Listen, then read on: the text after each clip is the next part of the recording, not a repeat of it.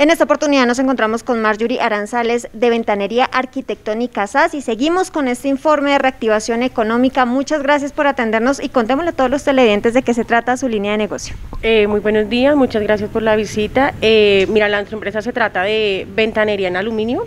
Eh, se maneja aluminio arquitectónico, todo lo relacionado con el vidrio arquitectónico, vidrio para divisiones de baño, eh, se maneja pasamanos, espejos, el tema de marquesinas, estas se hacen en policarbonato o en vidrio laminado, vidrio de seguridad, en sí todo lo relacionado con acabados de vidrio arquitectónico. Fuera de cámaras usted me contaba una historia muy bonita acerca de la historia pues, precisamente del negocio. Contémosle a todos los televidentes de qué se trata y cuánto tiempo llevan ustedes en el mercado. Bueno, la empresa está en el mercado, eh, iniciamos como régimen común, nosotros iniciamos en el año 2010. Eh, en tiempos de pandemia, pues nos vimos afectados, debimos cerrar pues, por casi tres meses, eh, pues tuvimos que, de, digamos que, sacar a los empleados que teníamos en el momento. Después de la pandemia, pues iniciar poco a poco, pues para nadie es un secreto que no es fácil iniciar desde cero. Eh, afortunadamente logramos, digamos, como que recontratar el personal que se traía, porque pues eh, el personal es el capital más importante de la empresa.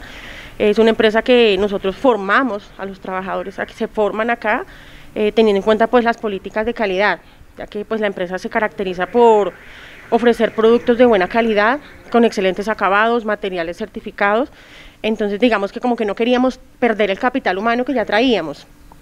Eh, después de esto, pues se dio la oportunidad de, eh, fuimos beneficiarios del, problema del programa de reactivación económica, eh, fuimos beneficiarios y pues poco a poco hemos ido como saliendo adelante, no, no ha sido fácil.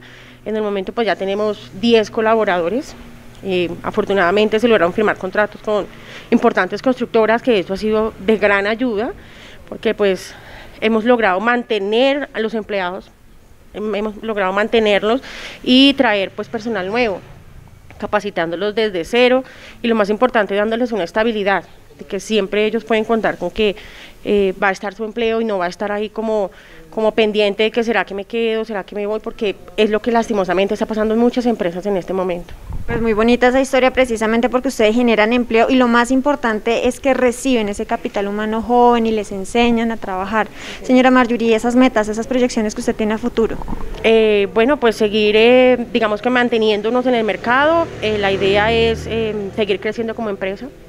Si es posible, pues seguir generando empleo a jóvenes, a jóvenes, porque en este momento, pues para la juventud es muy difícil conseguir trabajo por el tema de la experiencia. Eh, Ventanería Arquitectónica no pide experiencia laboral, porque pues como le decía anteriormente, aquí se forma el capital humano, o sea, aquí ellos se, se capacitan y se enseñan qué es lo que se hace en la empresa. Recordemos dónde se encuentran ubicados, redes sociales y números de contacto. Eh, bueno, estamos ubicados en la sede, en la calle Novena, número 760, en el barrio Tranquilandia, y la segunda sede queda en el barrio Jardín de los Ipas, eso es eh, la carrera 10, número 5B05, y eh, bueno, redes sociales aún no tenemos porque cambiamos, cambiamos algunas cositas entonces, pero pues pronto estaré publicando, publicando como redes sociales, bueno, los teléfonos, eso sí, han sido siempre los mismos, no se cambian, es el 863-2418, eh, los celulares 312-339-0962 y el 313-424. 0528. Pues una vez más, muchas gracias por atendernos, por contarnos esta linda historia y les deseamos éxitos, bendiciones y ante todo ventas. Muchísimas gracias, ojalá que así sea.